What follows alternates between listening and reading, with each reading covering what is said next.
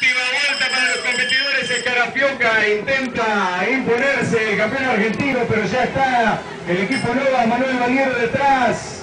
También está Núñez y está Coté. Veremos cómo definen estos seis.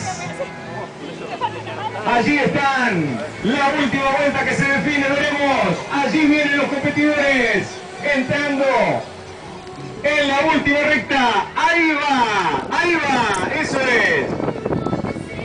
Allí viene Valiero en punta. Veremos si Valiero sostiene. Escarafioca Núñez. Ponga, ponga, ponga, ponga, ponga. Valiero, Núñez.